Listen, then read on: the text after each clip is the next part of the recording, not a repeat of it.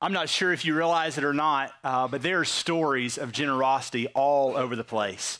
A matter of fact, a couple of years ago, there was a lady who went by one of the Salvation Army drop boxes, say you would see outside of Walmart or uh, other places, and she dropped in it uh, a wedding ring from her late husband that had passed away. And uh, that ring was a gold ring, an approximate value almost $2,000, about $1,850 exactly. And she put a little note on it and she said, I hope and I pray that someone who has made far more money this year could buy this wedding ring for 10 times its worth so it'd be a benefit to others.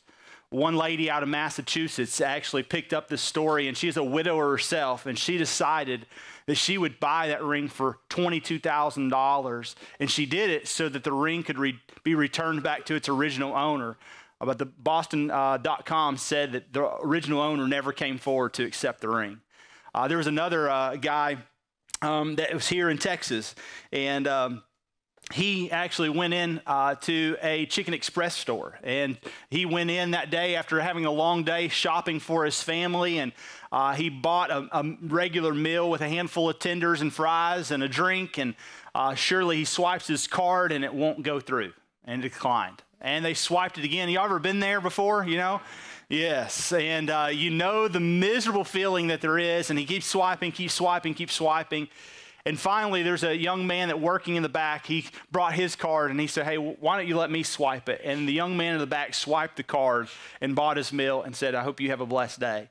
Well, later, this gentleman in Texas came back and he actually brought all his family and friends together and even was able to figure out who the parents of the young man was. And he gave him 10 times what the value was that he paid for that day. Isn't generosity something that we feel inspired by? I mean, it's something that we know that it's, it's something that feels good. It's something that we should do. Proverbs 24 11 says, The generous man prospers, and he who refreshes others, he himself will be refreshed. Like there's just something about a life giving generosity that brings warmth to our soul.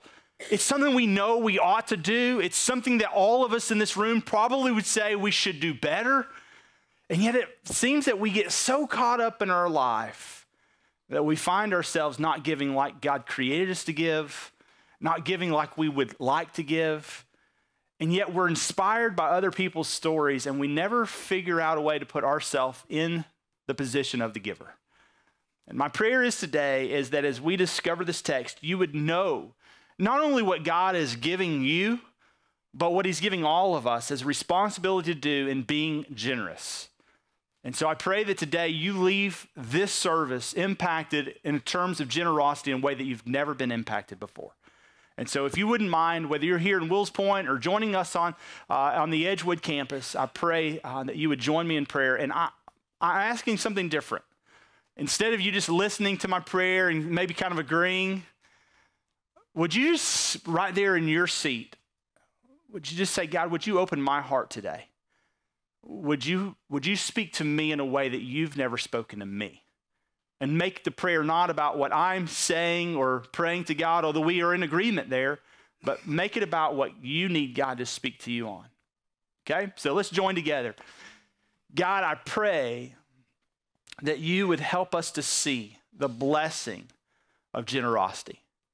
Father, I thank you that as we have discovered already in the previous three weeks, that every ounce of generosity we display actually points to a, a true and better giver, someone who laid his life down so that we may have life and have it eternally.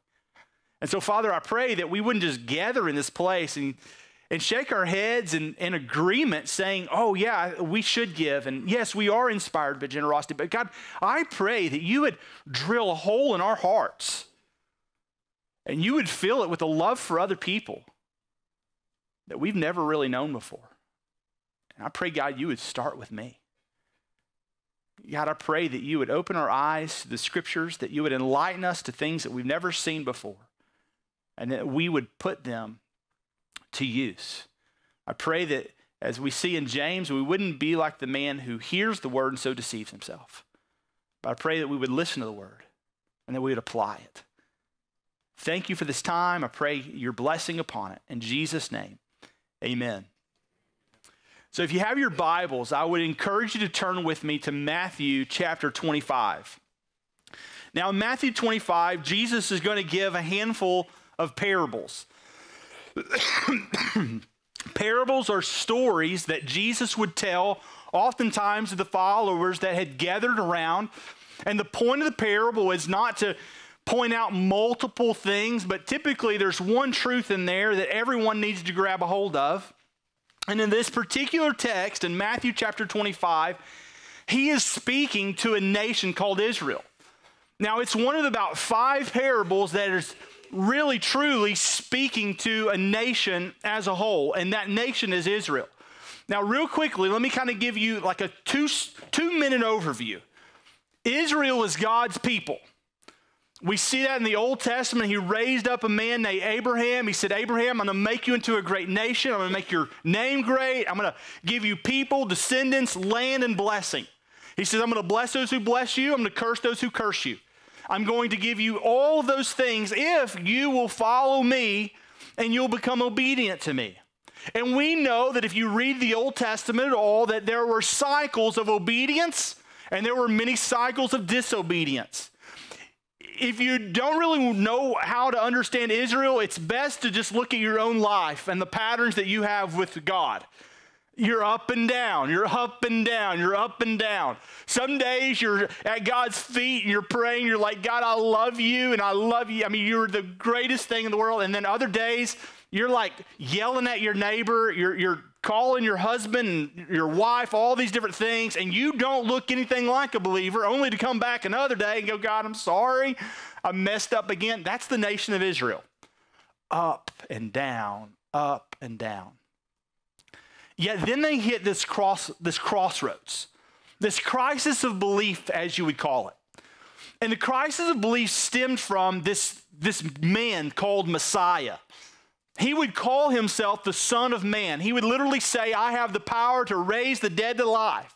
I have the power to make the blind see. I have the power to even forgive sins. And they said, Oh, no one can forgive sins but God. And he says, and I and the Father are one. I am God. You want to see, you want to see God? Look at me. And that led them to take him to a sinner's cross where criminals are killed, hang him with other thieves, punish him, stricken him, beat him, mock him, reject him, spit upon him, just as Isaiah the prophet would say 700 years earlier in Isaiah 53. All of those things would happen so that he would bear your punishment, my punishment, the punishment of the whole world, even the punishment of Israel. Yet here's the deal Israel rejected him. It wasn't people who didn't love God that killed Jesus. It was people who claimed to love God that killed Jesus. It was the religious emphatics. It was the leaders and the zealots. It was the people who had great zeal for God who led Jesus to Calvary. It was those who claimed to be generous. And yet in Matthew 23, Jesus said, No, no, no, no, you're the one who keeps tying up cumbersome loads. And you're not willing to carry those loads yourself. It reminds me a lot again of some of us church people. Standards that we don't even obtain to, we place on other people. But yet, what, here's what God did He set Israel aside and He says, I am rejecting you as my people for a time. Ezekiel 20 maps it out clearly for you. And He says, and I'm going to raise up some other people, I'm going to adopt them. Israel, you were my son. You were clearly mine, and yet I am pushing you aside. I'm going to adopt other people into this story. I'm going to set the first string quarterback on the bench for all you sports fans. I'm going to take that second stringer. He doesn't look the part, but I'm going to use him. And for a time, he does that. And Ezekiel 20 says, But there's going to be a one day that he'll restore the nation to their proper place. But it's after a time in which the church age, which you and I are in now, where we've taken the gospel out to people, I'll raise them up in the last day. And so we know in the last days that there's going to be a picture of Messiah coming for his church. There's going to be a seven year tribulation period for Israel to put a rod on their back God's going to discipline them severely for their choices. And then there's going to be a thousand year millennial reign. And then that thousand year millennial reign, he's going to gather his people back, Israel, we're already going to be ruling with him, and he's going to give us power and dominion and place in, in heaven in which we'll rule alongside with him. But in that thousand years, it's designed to gather his people, Israel, back. And what he wants from them is in this text in Matthew 25, 14 through 30. He wants them to be faithful. He wants them to be loving and kind and generous and to display the acts of God in which way they should have been doing all along. Interesting enough, though, as this is for Israel, it is also very applicable to us in the church age. But in the context of what's going on in the book of Matthew, it's clear that this text is surrounding Israel, but we're going to go ahead and use it. We're going to crop some things out of it for you and I in this generosity series. So let's read in verse 14. For it will be like a man going on a journey who called his servants and entrusted them to his property. To one he gave five talents, to another two, to another one, to each according to his own what? Ability. Then he went away. And so the master gathers three servants, three servants in which he clearly knows and understands. And he says, I'm going to give you five, I'm going to give you two, and I'm going to give you one. Now, I want you to understand real quickly that a talent is not an amount of money, but it's a weight of money. It could be gold, it could be silver, it could be copper, it could be various different things. But if it happens to be gold, then what he is giving this man with five talents is millions of dollars. If it happens to be silver, then he's giving him hundreds of thousands of dollars. And if you just took something that was not real important, maybe some copper or something like that, you're literally looking at still anywhere from a value probably of twelve to twenty thousand dollars being one talent. So this isn't like, hey, I'm going to give you a handful of dollars as I walk away. Most people would su- suggest that one talent uh, could potentially take a man anywhere from 15 to 20 years to gain this amount of money. So we're not talking about chump change. We're not talking about, hey, here's the few dollars and I, I'm going to go away for a little while. We're talking about a significant amount of money. And so here's what happens a lot of times as we read the parable of the talents, if, especially if it's not your first time to read it. We look at it and we go, well, wait a second. This doesn't seem fair. Like you're telling me that the, the master's gonna he's gonna pick and choose, and one he's gonna give five, and one he's gonna give two, and one he's gonna give one. Well, what what what about me? Like God, what are you gonna give me? And here's what I want you to understand: the Christian life has never, ever, ever in scriptures been deemed as fair. It wasn't fair that Jesus died on the cross for you to start with. But it's also not fair in the way that God displays anything. Like for some of us in here, our time on earth is different. For some of us, we're going to live into our 30s or 40s. For some of you, you're going to live into your 70s or 80s. For some of you, even though your life is longer than many of your friends, you may experience hardship, health problems, and things that keep you on the edge and on your knees. For some of you, you have great health and you've always maintained that, and God's blessed you with that. For some of you, you have great resources. You have money in the bank. You have plenty of things to share. You have nice homes. For others of you, it's month to month, and you look up and you go, I don't have near the amount that other people have. And what I want you to understand is that all of us are different.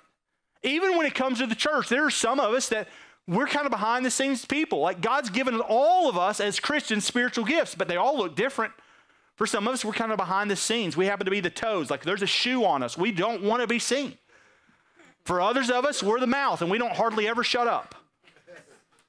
And sometimes you're like, please shut up, right? We all have different roles, but listen, God has apportioned to each of us the role. And then he goes away. And he says, But I will be back. So he apportions it, and it's not fair. It doesn't have to be fair. And what's interesting is, is that God's not going to judge. And in this picture, the master is not going to come and he's not going to judge these men on what he's given them. Good news, take a breath. Awesome. So it doesn't matter if I'm a toe. It doesn't matter if I don't have as much wealth as someone else. It, it doesn't matter if I don't live as long or I don't have as good a health. No.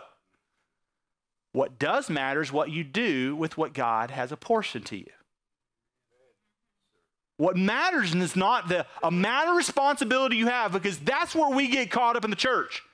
Well, how in the world did how in the world did he get to be a deacon? I mean, I'm, I'm pretty sure that I'm, I should be a deacon. Well, how in the world did you hire him? Like, how did he get to be full time? Why not part time? Well, how in the world did they get to lead in kids' ministry? I've been here the whole time. And the bottom line is who cares? If that's where you're finding your worth and your value, then you're looking in the wrong place because God says, I'm not concerned as much about what it is I'm giving you. I'm concerned about what you do with what I give you. And so, is this message for everyone? Absolutely, it is. Why? Because he's not talking about everyone in here who has some responsibility. He's talking to everyone. Matter of fact, he's saying that everyone in here should have responsibility. Hold on, think, hold on, let me step back real quick. Everyone in here, everyone in this story, everyone in this text has responsibility. Your responsibility may not be as big as someone else's responsibility, but you still have responsibility, and that's what you're going to be managed for. And you go, well, I, I, don't, I don't understand this. Well, let me make it more clear to you as Paul writes to the church in Corinth in 1 Corinthians 6, 19 and 20. He says, Do you not know that your bodies are the temples of the Holy Spirit who is in you, whom you've received from God? You are not your own, that you've been bought for a price. Therefore, honor God with your bodies. Now, he's not just talking about your bodies, he's talking about your time, your talent, your treasure, everything you have. He says, honor God with it. Why? Because you were bought with a price and you're not your own. And so, as Christians, we need to discover whether or not we are one, walking and abiding in the Master. And then, number two, are we doing what we agreed that we would do? And that is to deny ourselves, take up the cross, and follow Jesus. Or are you still longing to be in control of almost all the resources that God has equipped you with? Because it's very clear in this story who gives and apportions what you have the Master. Understand? In verse 16, it says, And he who received the five talents went out at once. He traded with them. He made the five talents more. So also he had two talents. He made two talents more. he goes, I gave one to five. He went out and he made five more. Also, the one who had two, he went out and he made two more. So the bottom line is, in, in, in this text, is they understood the responsibility and they went to work. Then you look at verse uh, 18. But he who received the one talent went and he dug a hole in the ground and he hid his master's money. He did very little. So you have two who they go out and they're they're faithful to go to work. We don't know how they go to work. we don't know exactly what it is that they do. We just know they go to work. And we know that they work hard. And we know that they have a return that is equal to the amount that was apportioned to them. And then we know one who was lazy and slothful and did nothing, and he ultimately just went and he dug a hole in the ground and he put all the money in it. Now, we need to note that this is a significant amount of money that you're putting in the ground. It'll be important as you see the master's response here in just a little while. Now, after a long time, the master of those servants came and he settled accounts with them. Now, here's the important thing after a long delay, the master is gone he says, I am going to return, and then eventually he does. This sounds very familiar to Israel because what Israel needs to know is, is that I am going to return. And we know that there is going to be a reign in which God does return. And we know that he's coming for his people Israel. Now, what's interesting is we also know that the scripture says that he's coming for us, the church. And so, just as Israel needs to be looking for their master, so does the church need to be looking for their master. And what's important to note in this text is that while we keep our eyes fixed on the author and the perfecter of our faith, the Lord Jesus, and his return for us, the church, people who acknowledge that he is indeed Jesus, Lord, Romans 10, believe in your heart, confess in your mouth, you'd be saved. If that's you, then you need to keep your eyes fixed there. And as you keep your eyes fixed there, you ought to be what? Faithful in doing the work in which He has entrusted you, knowing that there's going to be a day in which you will see Him. Now, I, I don't know if you would agree with this statement, but I think many of us, and, and particularly in this story, there was one man in this story who either did not believe that his master was coming or that it would be a longer time off than he had expected. Maybe he thought, well, one day I'm going to go and I'm going to dig that money up and I'm going to do something with it. Because I think most of us in this room, we, we would say, yes, I do believe Scripture points to Jesus and his return. I think most of us say, would even say something with the audacity that it could potentially be in my lifetime. But yet, if we look at the things that the Master's entrusted to us, we're doing very little with the things He's given to us with the expectation of a return, particularly a return that would be coming soon. And the Master says, I'm coming back, and these men, they went to work as if it could be soon, with the exception of one. And what does he do? He comes back and he's going to uh, settle what? Accounts with them. And what you're going to see in the following part of this text is that he's going to take them one by one and he's going to speak to them individually. See, you and I oftentimes look for churches that are alive and are doing things. Like a lot of people run into you at the grocery store, like, hey, where do you go to church? Oh, I go to Stonepoint. Oh, okay, I've heard good things about Stonepoint. Oh, yeah, I mean, we love Stonepoint. And you hope that you're going to be judged on the basis of a group of people called the church, like Stonepoint.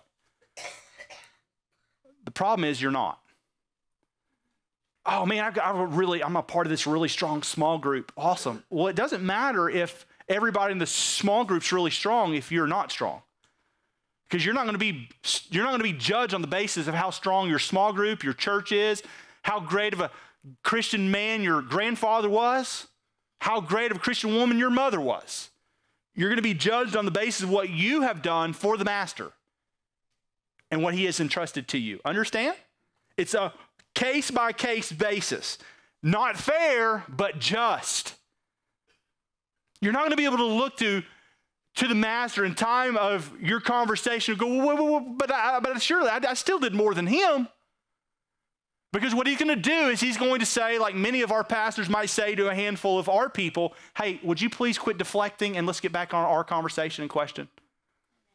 I didn't ask you that question. I asked you this question. And it's interesting to see that oftentimes in our conversations, we'll answer every question except the one that was asked. And here's what you need to note Jesus will have one question, and that will be, What have you done with what I gave you? I, well, I mean, I did, I did more than him. No, no, no, no, no. I didn't ask what he did. Well, I did more than her. No, no, no. I didn't ask what, oh, what she did. I'm asking what you did. You understand the seriousness? You're like, man, I think you're on me, right? No, no, no. I want you to feel the weight of this text. This is not some cute little story. Well, he's given me more than he gave you. No, no, no. There's weight here.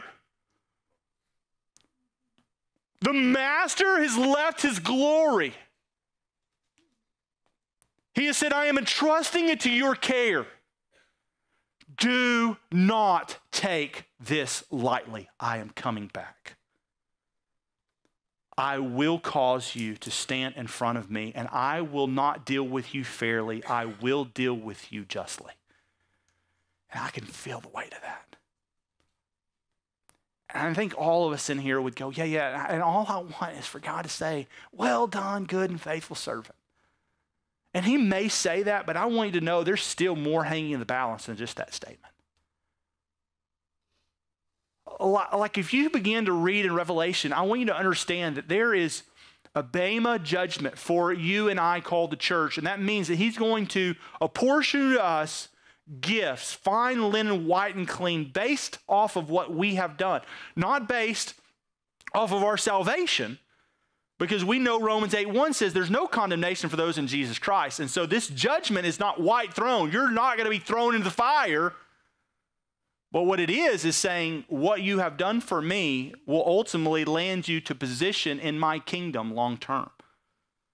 I'm going to place you for what, hey, when you, when, hey, when you have done what, been faithful with little, I will give you much. That's not speaking of just earthly, that's speaking of eternally.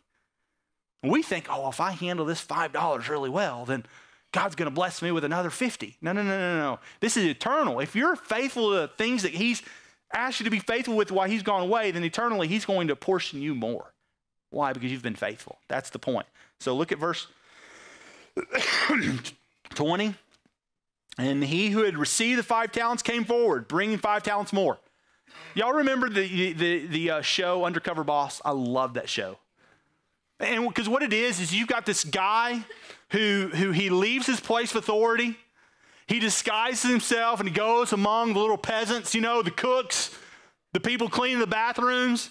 And inevitably, there's always a handful of people that are so faithful and they treat him like he can't do half the jobs and, and, that they can do. And you know, at the end of the day, they're about to pull their hair out of the sky because you're like, surely you can learn how to, to cook a basket of fries.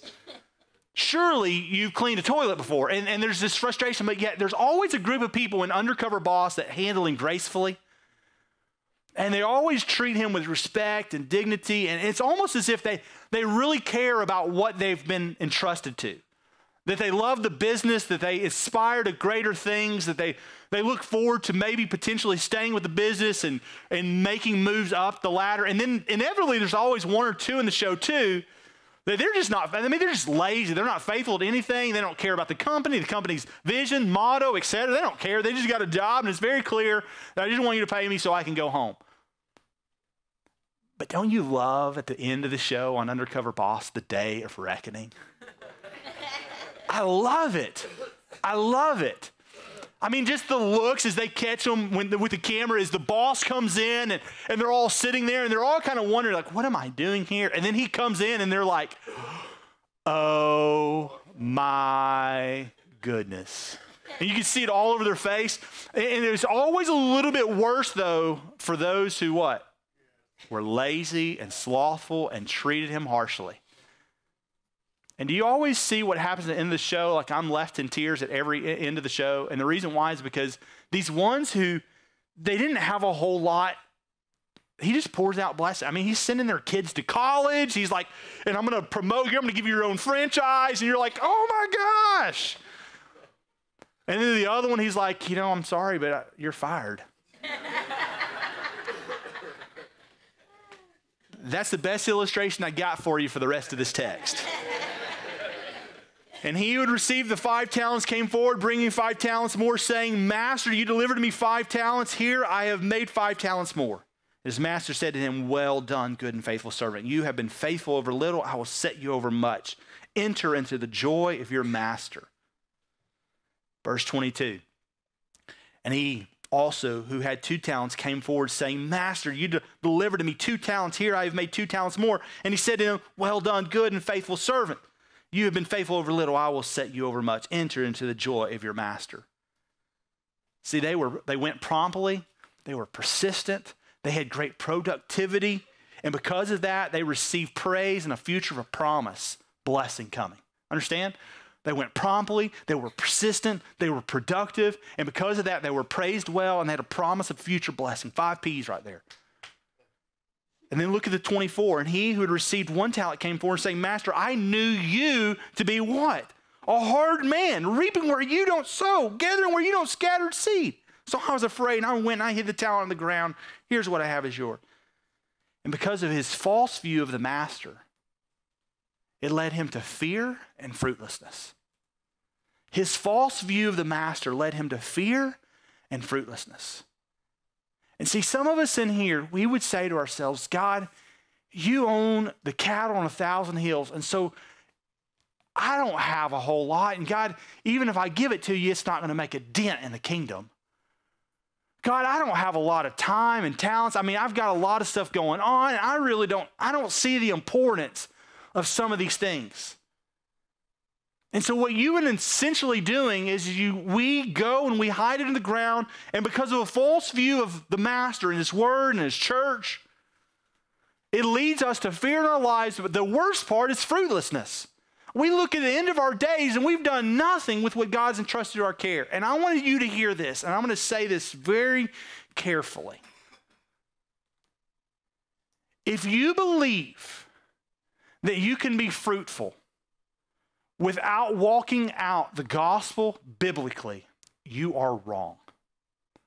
Now, let me define the gospel biblically.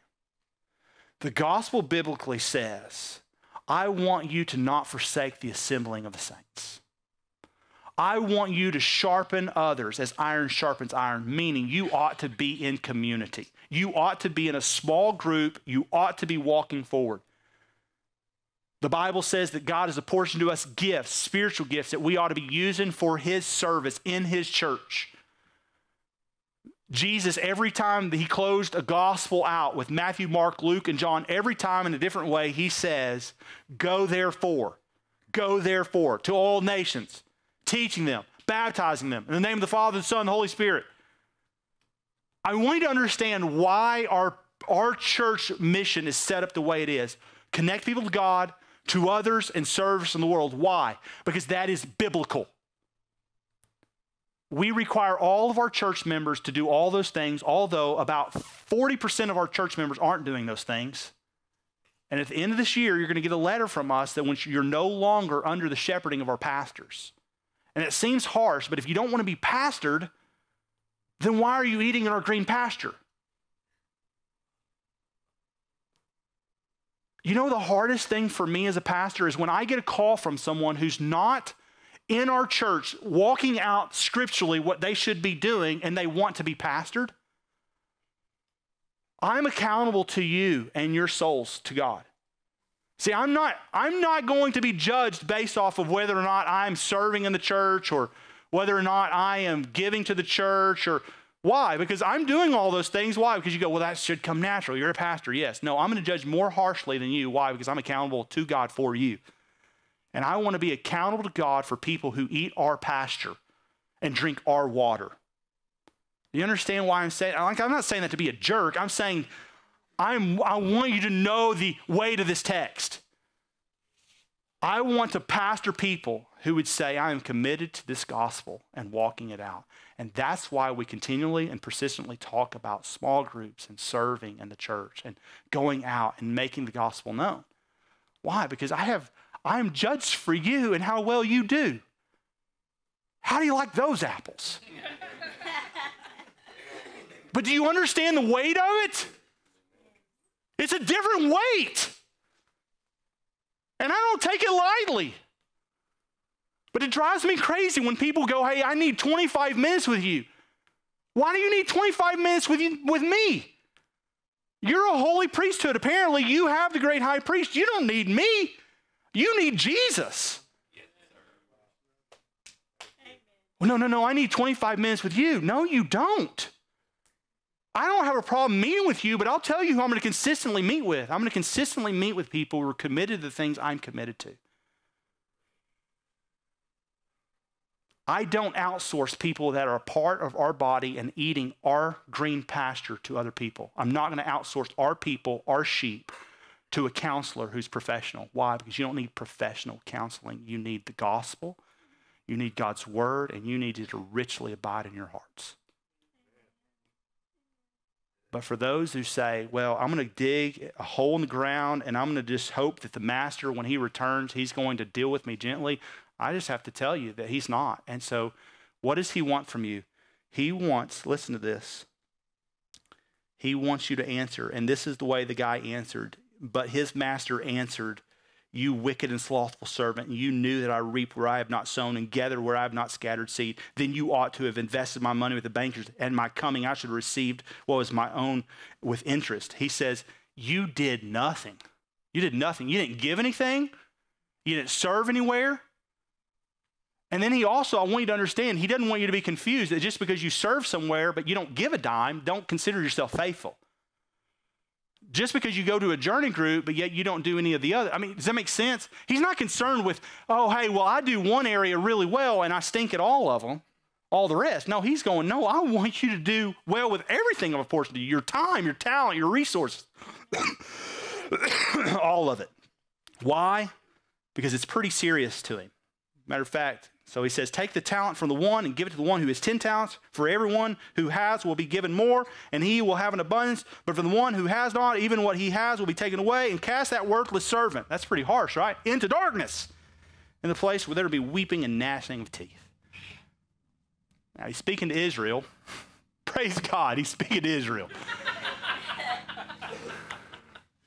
but the application can be said and true for his church. And so, why do I give you that? Well, here's why. Is because we believe that our church ought to be walking out the gospel with true generosity. And generosity doesn't just happen with money, although that's typically what we go towards, right? But it happens with your time, your talent. It's an investment in saying, I want to be shepherded. I want to be pastored. I want to, to move forward in my faith. And we understand if you're not there, but we need you to prayerfully decide what it is that you want to do. Uh, so let me pray for us. Everybody, here we go. God, we love you and we thank you for today. We thank you for the blessing of being here. We pray, God, that you would use it to spur us on towards love and good deeds. In Jesus' name, amen.